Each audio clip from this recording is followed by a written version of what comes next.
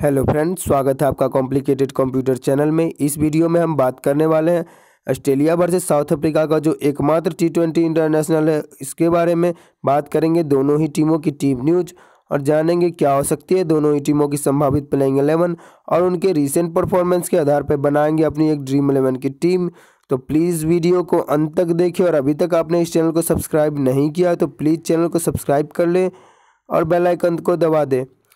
Please मुझे support करें। मुझे आप लोगों की सपोर्ट की बहुत ही ज़्यादा ज़रूरत है तो प्लीज़ चैनल को सब्सक्राइब कर ले और वीडियो पे लाइक, कमेंट ज़रूर करें। बात कर लेते हैं दोनों ही टीमों की तरफ़ से, टीम न्यूज़ की।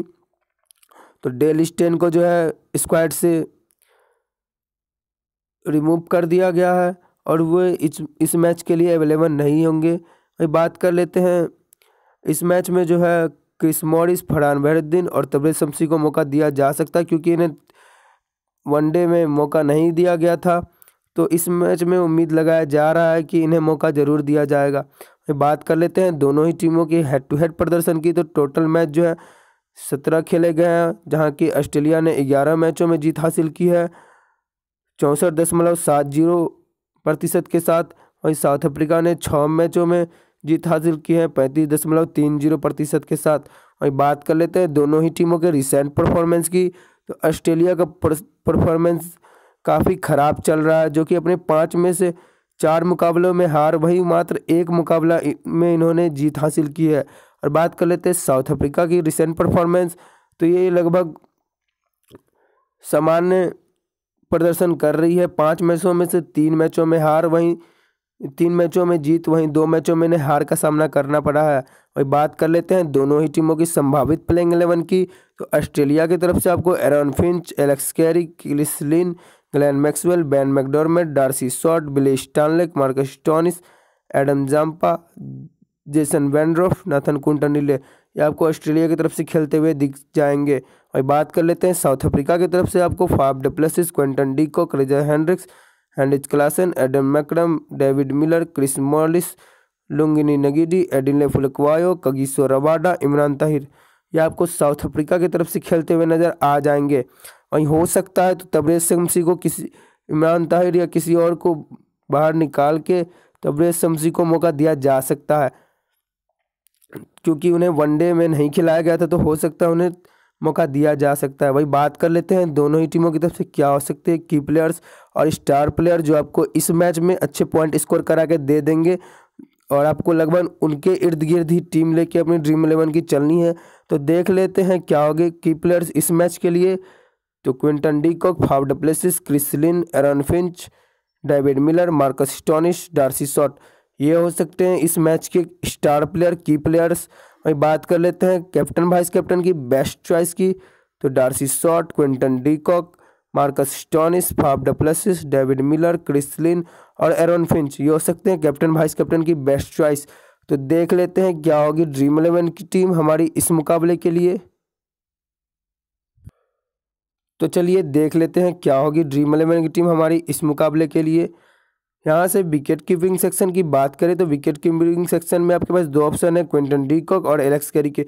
दोनों ही आपको ये मुकाबला खेलते हुए नज़र आ जाएँगे।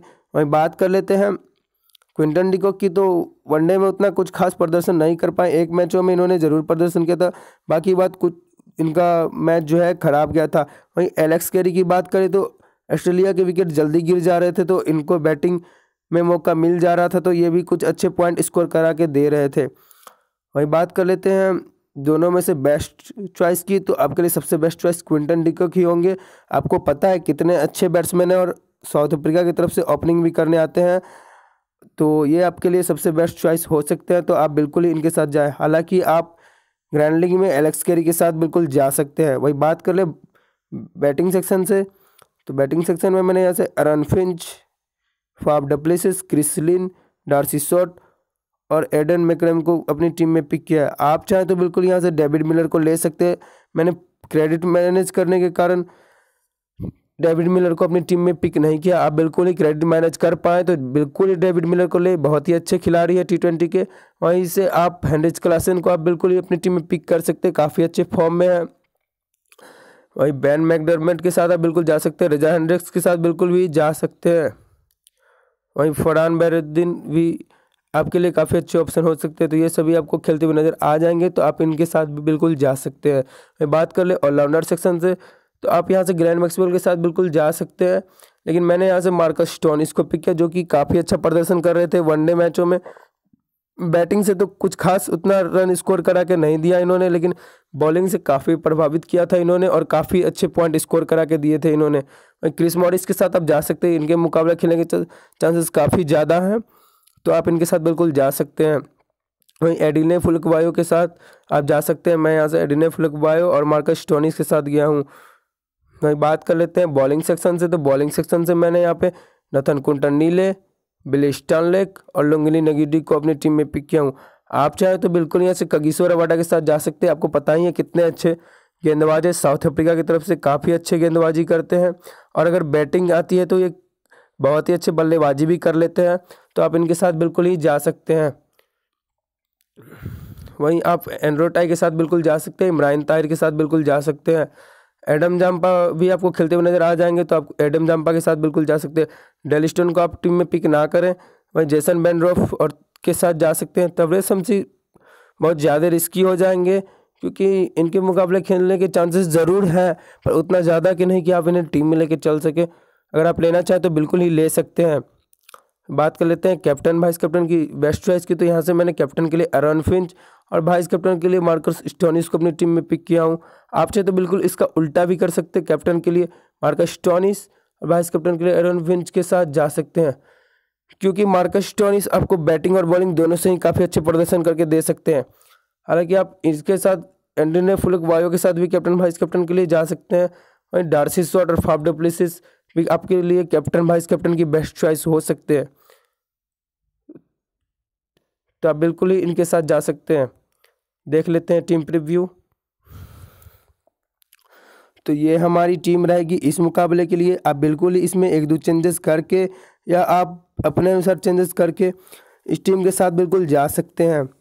उम्मीद है आपको वीडियो पसंद आएगा। प्लीज़ चैनल को लाइक और सब्सक्राइब कर दें।